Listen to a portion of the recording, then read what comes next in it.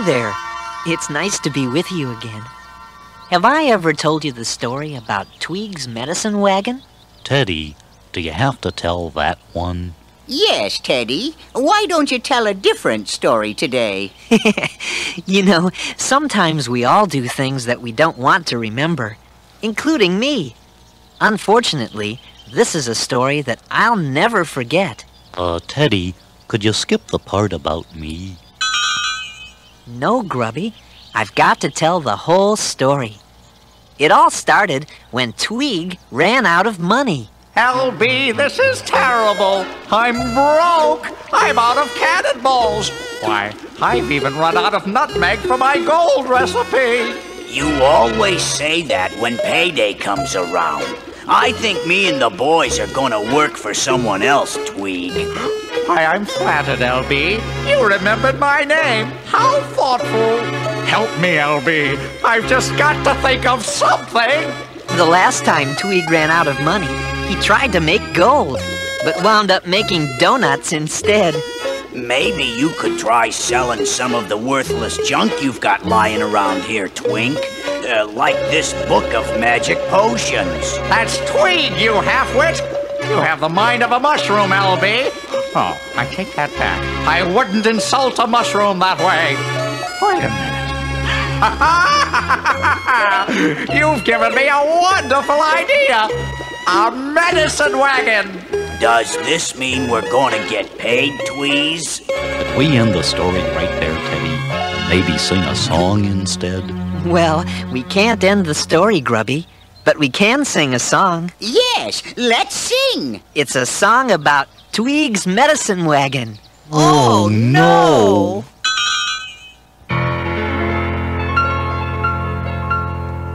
If you haven't figured out, my idea here's a hint. With my little book of secrets here, I can make a mint. The page on sleeping potions is worth a coin or two. And the chapter on wishing might just make a wish come true. And the secret part on flying has never yet been told. And the chapter there on growing hair is a, part of a gold.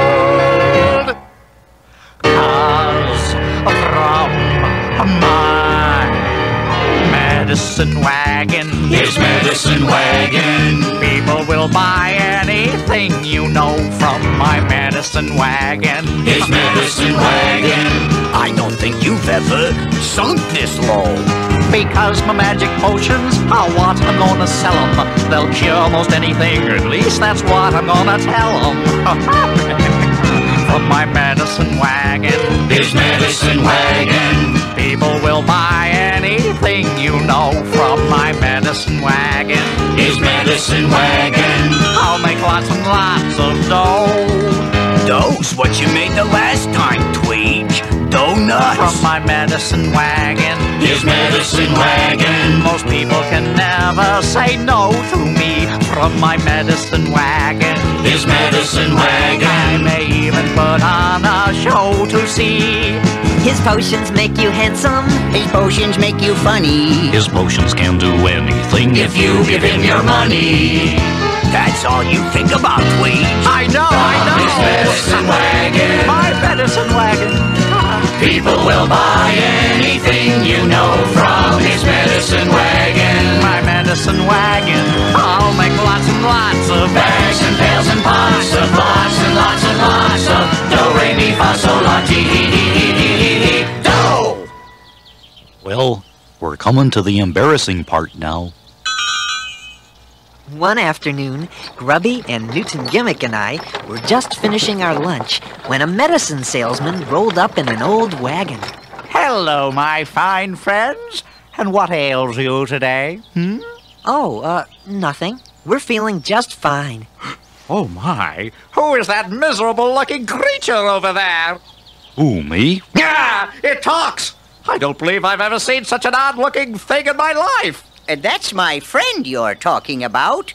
And uh, who is this bald headed old gentleman? Oh, uh, yeah. uh, uh, These are my friends. This is Newton Gimmick, and this is Grubby. He's an octopede. Oh, how charming. And my name is Teddy Ruxpin. Shorty Ruxpin, eh? Well, I've got just the thing for our eight legged friend here. Just one swallow of my magic potion will make you handsome. Really? Certainly. It says so right here on the bottle. One time, my magic potion even made a centipede cute. Wow, that's amazing. Well, I don't think you need that, Grubby. I like you the way you are. Nonsense! He'll be much happier when he's handsome. LB, I mean, uh, Lorenzo, hand me a bottle of MP number 87. The new improved? Of course. Now, how about our skin-headed friend over here?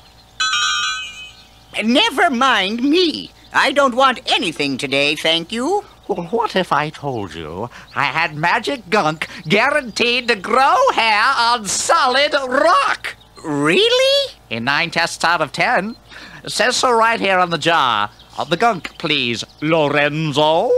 Are you sure you really need this stuff, Gimmick? It might look nice. Oh, you look sensational. Years younger. Hmm. Too bad I don't have anything for you, Shorty. That's okay. I like me the way I am. Hey, boss, what about the gravitational body extender thingamabob? Oh, I nearly forgot. The perfect thing for our little friend. Yeah, Teddy, it sounds kinda neat. Why don't you try it? Do you really think I'm too short? Oh, absolutely. And this device will fix you right up. Just hold this gravitational stone over your head, and it'll make you taller. Absolutely. Now, let's see. There's the magic potion, the gunk, and the body extender thingamabob. That'll be uh, 14 pieces of silver. Really?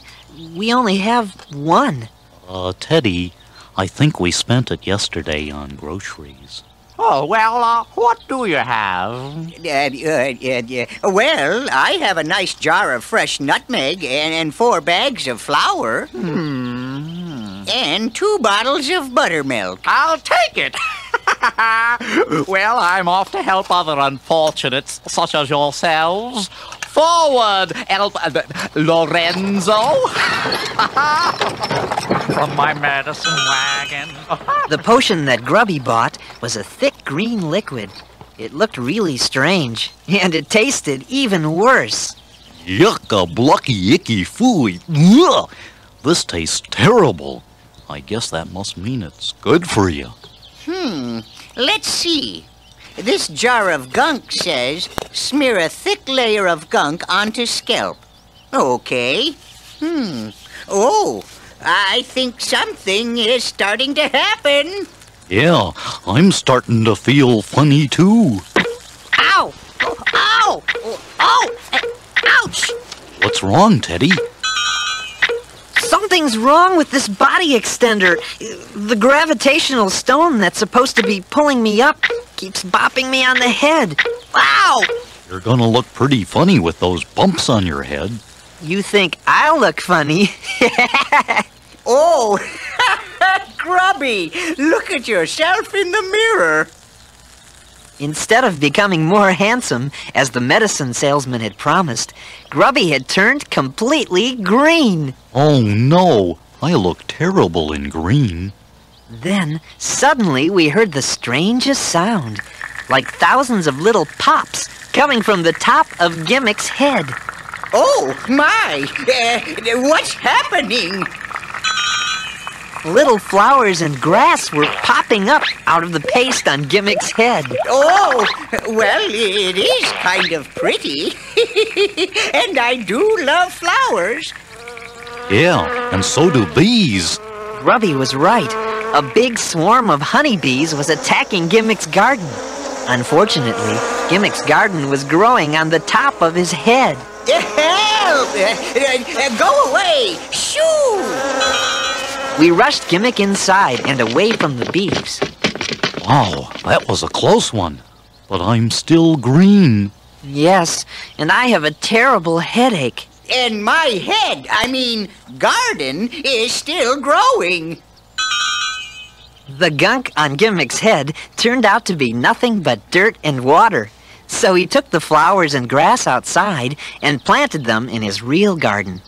And I found out that the gravitational body extender was nothing but a rock hanging from a string.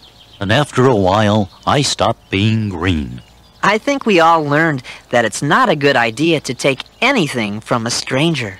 Especially when the stranger turns out to be Tweeg. And we all felt kind of foolish. Well, I talked you into getting that head bumping thingamabob. And it never bothered me not having much hair before. If Gunk really could grow hair, I would have invented it.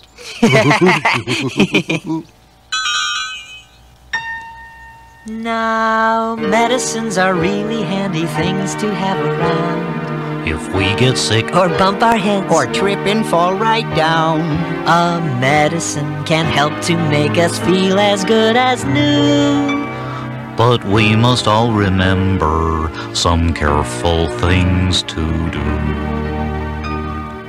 Your parents are the only ones who know what's good for you. So don't take any medicine unless they tell you to. They'll tell you if you need a pill when you are feeling ill.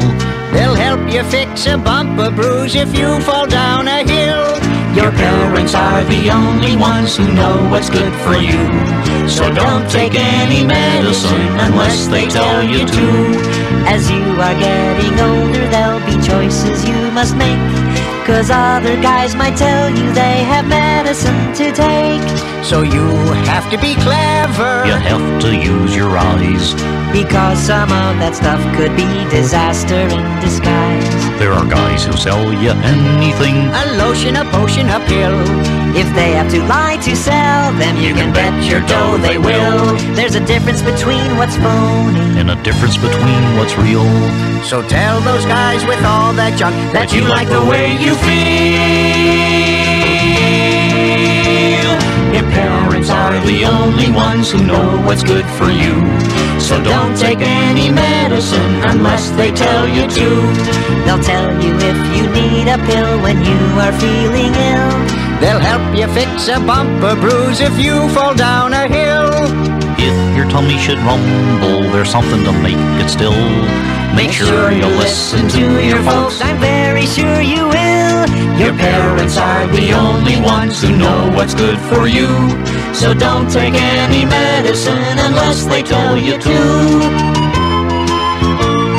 Unless they tell you to.